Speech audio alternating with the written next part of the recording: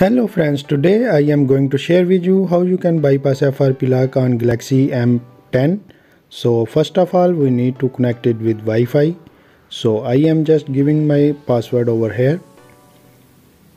You need to connect it with Wi-Fi or data SIM, no problem at all. So I am just giving my password over here and connect it with Wi-Fi. Then you need to connect it with computer and open Samsung FRP tool in computer. The link is in description. You can download it from there.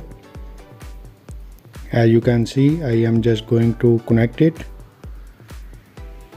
And now we need to click on the bypass FRP. OK. And this will show a pop-up message on your mobile screen. So just click on the OK button and if this tool doesn't work for you you need to disable driver signature restart pc hopefully it will work for you. As you can see pop-up message appear. Just click on the view button. Now this will open google chrome. So just accept and continue.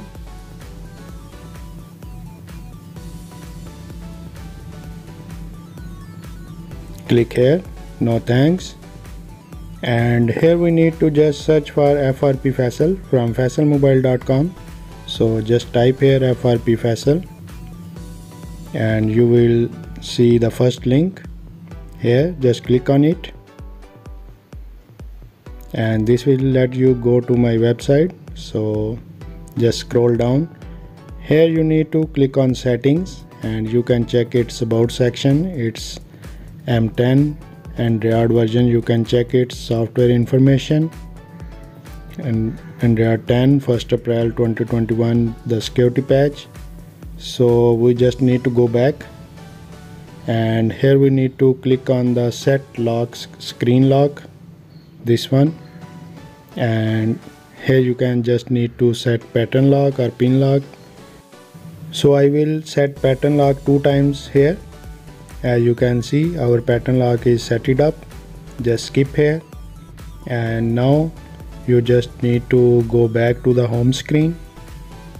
And here we just need to set up our mobile and this will let you bypass FRP you just need to give your pattern lock which we set it up before.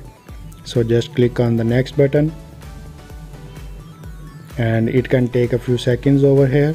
As you can see we just need to give our pattern lock and this will definitely bypass your FRP lock. You can use this method on other Samsung models also but you need to have uh, old security. So as you can see there is skip button so we just click on the skip button. That means there is no FRP lock at all. Just click on the next next button. Click OK and adding the finishing touches now. It can take a few seconds over here. So just click on the next button again.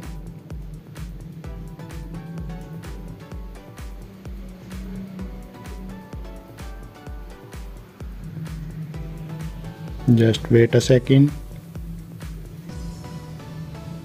Click on the next button skip. Skip again. Finish. As you can see our phone is just going to start. Just a second. Done. We are almost there. As you can see phone started up successfully. And there is no FRP lock or Google lock if this method work for you please do comment in the comment section with the date so other people can also get help. As you can see it's about section and it's software version. So hopefully you like the video. If you like the video do subscribe like and share. See you in the next video. Till then bye bye